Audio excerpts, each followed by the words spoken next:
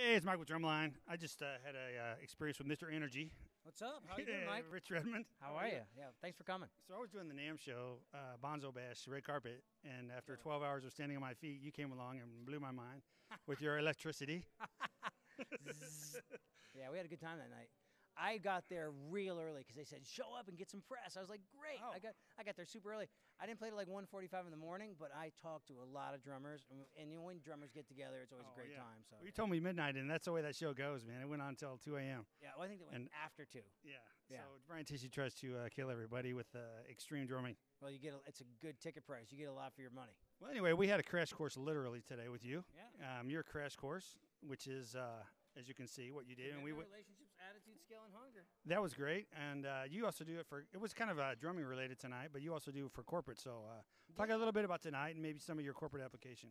Well, I just try to speak to the audience at hand. To, so here in the Civic Center tonight, I had a mix of uh, local musicians, drummers. I had some college instructors, had some people from the community, and I just had some people, you know, husbands and wives and parents. And so I try to talk about this concept and how people can attract success to their lives.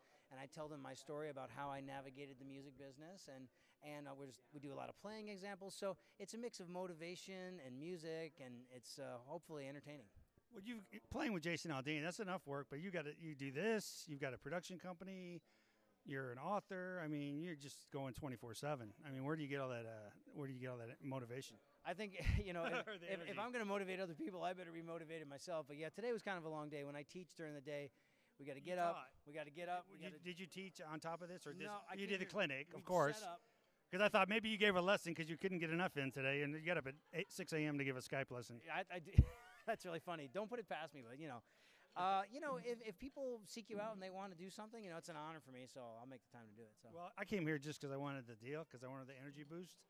I was going to say I'm looking forward to seeing this. Yeah, the edit Yeah, because we shot the whole clinic. Yeah. So uh, we'll uh, get the good parts in there. It was all good. The It'll- macaroni it- and cheese. It'll be on the black market. You know, Yeah, I like the macaroni and cheese part. we'll get a Kraft sponsorship. yeah, maybe that would help. That'd be was that great. the goal?